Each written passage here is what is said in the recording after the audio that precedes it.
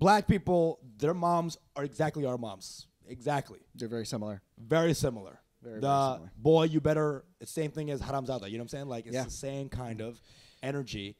And uh, black people love their moms, and Indian boys love. That's why my mom loves Yeah. the Madea movies. My mom is fucking all about like Tyler Perry Madea movies. She loves them. She's just like they don't take any shit. You know that she love she loves black people. And here's the interesting thing about like a lot of Desis and Asians who moved to America. Yeah. Their way of assimilating is by being racist towards underclasses. Yeah. You know, so Yeah. like black Yeah. people. 100%. My mom assimilated in a really weird way. Where she was racist towards Italians. Okay. It was so bizarre. Well, that's just called logic. no, but she'd be like, she'd be like, listen, there was a family across the street, the Benettis. I'd be like, I'm gonna go over, and, I'm gonna go over and play at the Benettis. She's like, no, don't. Like, why? Why not? She's like, no, no, no. You have to be careful of anybody with a vowel at the end of their name. I was like, bitch, we have a vowel at the end of our name. Okay, Behari. That The sounds same one they Italian as hell. Yeah, same exact one. I remember my mom.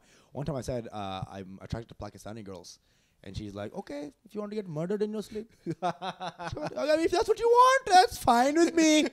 Whatever floats You had your a good boat. run. Whatever floats your boat. Whatever floats your canoe. huh? Because we're Bengali.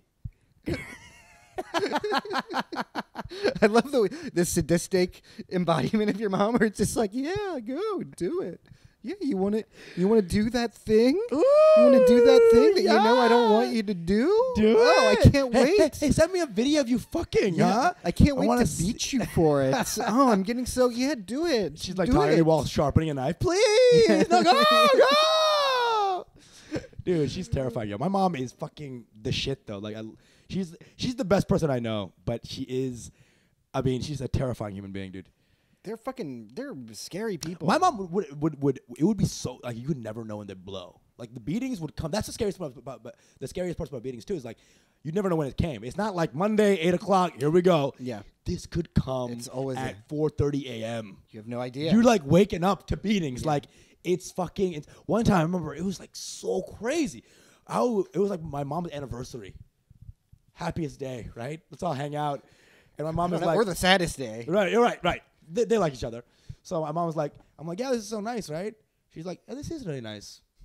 You know what's not nice is the fact you didn't do SAT today. Give me the fucking spoon. Like, what the fuck? Whoa. She went from, She just couldn't handle you having enjoyment, dude, So she had even to bring you to down her, level. even yeah. having, being happy for her Yeah. means I'm happy yeah. for something. Yeah, yeah, yeah. She's like, this hasn't got nothing to do with you, bitch.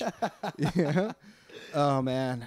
They they they they they they really like to like pretend like they're the ones who really suffered though. Yeah. And it's always about like we were talking about earlier, where it's like they feel so oppressed Yeah. by not being able to oppress us enough.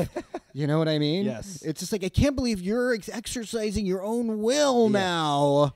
That's, it is like a little bit of like a, a resentment that they have the freedoms that they never had. Because like Yeah. you go, you come to. America. These people came to America to get freedom. Yeah.